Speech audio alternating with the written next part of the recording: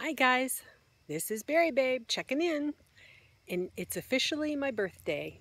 It's like 12.06 or something a.m. Sunday morning and I just got home and I'm out for a walk. So I'm going to not film my face. I don't want to make you seasick. So I know that people have questions about my day so I'm going to try and just not have a picture. I'm sorry if it's too boring. I guess you just have to listen today. So today I was same, the same, yay! So it's day two of purgatory and I was the same. Uh, it would have been nice if I'd been down a little bit more, but my God, 151.1, I can't, I can't really have a problem with that. So today was the big doctor appointment with the surgeon that did my breast lift. How did it go? Well, you know, I got this little thing on my wrist now, my new Fitbit, and it tells me what my heart rate is. Uh, yeah. I got up to like 96 waiting in the waiting room for him.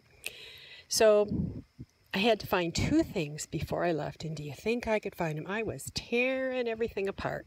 I had to find the, the pathology bill from the hospital and which cost me $307 and I had gotten an itemized bill to be able to show him what I had to pay extra because he didn't realize when he sent he, he took out some tissue and he sent it for pathology, not realizing that was coming out of my pocket, even though it's in his paperwork. And, excuse me, so then I um, reminded him that he said he would try and help me get the pathologist who read the report for $370. So that makes $670 over the cost of my procedure. That's 10% toward a new another procedure, right? So, you know, he has been so hot and cold with me in the past that I didn't know what I was going to get. He he does not like to ever admit that he made a mistake. But to be honest, he always has made good on anything. And people say, "Well, why do you keep going to him?" Well, as my my internist, my family doctor says, when she's got me up in the stirrups. The man's an artist. So this thing with my breasts, I don't know. So as the swelling has gone down, so has volume. So right after surgery, I bought um, my favorite bra, and I used to be a D, and I bought a C. And at the time, the C cup fit on the left, and the B cup fit on the right but the band was too tight. A 42 was too tight, and I had all that muffin top all the way around. And I've been trying, I mean, we've trimmed a little bit when I had my arms done, but I still need more. So that's one of the reasons I wanted to get down lower. So the traffic was horrendous. We were 20 minutes late. I called ahead and said, because they, you know, I've waited over an hour before you just never know how long it's going to be. Sometimes I get right in, sometimes I wait and wait and wait. So I call ahead, and, and the girl says, This is one I don't know. She says, Well, are you going to be more than 20 minutes late? And said, No, don't think so. But it was, we were heading toward University of Michigan, and they were having a big soccer tournament, and it was raining, and it was bumper to bumper for miles and miles and miles. And we were late getting out of the house because I had trouble finding the bra. I bought brought these bras at Kohl's, but I didn't take the tags off because I thought, well, I may have to take them back and exchange them. So, and because you know I had a coupon and 30% off and all that stuff. So he Oh, so when I got there, the waiting room was jam packed, and I found out that they had double booked everybody. I don't know if there was a screw up or what. So I thought, okay, you tell me to hurry. When I called, they said, oh, yeah, we're pretty much caught. We're almost caught up. liar, liar, pants on fire. I don't know. So I only waited 20 minutes and then they got me in. And they took me to the treatment room. I'd never been in there before. They don't usually put patients in there unless they're doing procedures or something.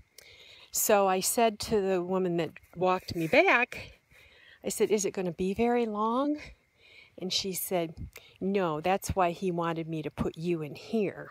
Like, okay. So I get into my little gown and and um, I hear him go into the a room, one of the rooms, and then next he's in with me, and he comes in like I was his lost long daughter. You know, all the all the. I mean, he he didn't do a real great job on this right breast.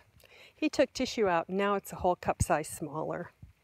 And then it cost me $670 if I can't get insurance to pay part of it to, to biopsy healthy tissue.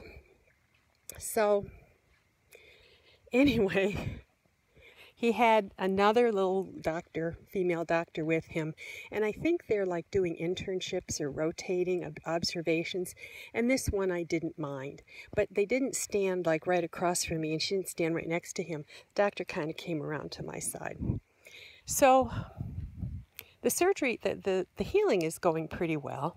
I won't get into details, but I did point out that they were not the right, they're not the same size. So he's like, mm, mm, mm. I said, no, I have a tit and a titlet.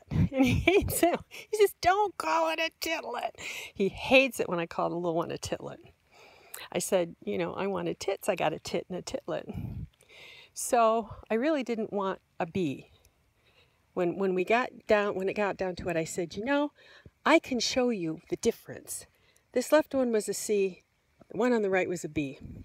Well, I put this bra on, and he said, I like this bra. Well, thank you. And, but it's, um, it, it snaps in the front, so it has a wider band, because I always have all this skin hanging over. Well, I've lost enough weight that the 42 fits. I really needed a 44 before, but they don't, they don't, you have to go to the fat lady department to get 44s in a nice bra. So he said, this is a Bali. That's, I, it was like, I'm thinking, how do you know it's a Bali bra? I mean, I guess he knows his tits. After all. So, needless to say, he's saying, well, we really need to blah blah here and blah blah there, and and um, I said, Well, because I'm a lot smaller, I really wanted to be a full C. I carried Bazumba D's all my life. And the more your boobs stick out, the less people notice your stomach sticking out. Even though I hope to be totally rid of that. So, anyway, I was just, I set my timer on my Fitbit, but I forgot to hit it. So if I go over, I have to record, re-record all this. So I'm at eight minutes. You're getting the front of you're, you're getting those famous tits is what you're seeing. Don't watch it, it'll make you seasick. So anyway, I had been talking about a, um, a back lift and what I'd like him to do is cut me up both sides and do the back lift. Well, I don't know if he's going to do that. But I said, what about implants? He said, we could do that. I said, well, how much is it going to cost me? He said, Oh, I think we have a pair around here somewhere. so, okay, when was the last time, you know, these things are a thousand dollars a piece. Somebody said, well, they may have just a pair hanging around. So I said, what you're proposing sounds good as long as I can afford it because I had budgeted for this back procedure I don't have any money to fix this front situation. But when I had a fiasco with the first time he did my thighs, he found a way for insurance to pay for it. He is a partner in the private hospital that does a lot of bariatric surgeries. So um, when he's kind of using insurance or that sort of thing, he takes me there. and their prices are too high for me to pay out of pocket, so I always end up going to one of the local hospitals. But in his own hospital, he could fudge on timing. So he's going to work up. He said, I go, back in six weeks, and he's thinking that we can do the next surgery end of, end of October, into November. Well, I'm going to go to Florida in late January, February, so I want to, like, he assured me he could get me in fast. Well, he can't assure me that at the hospital, at the regular hospitals. So I'm going to try and trust him. I don't know. I've sent him a lot of business because I've had a lot done over the years. He works well with previously obese people and all their extra skin.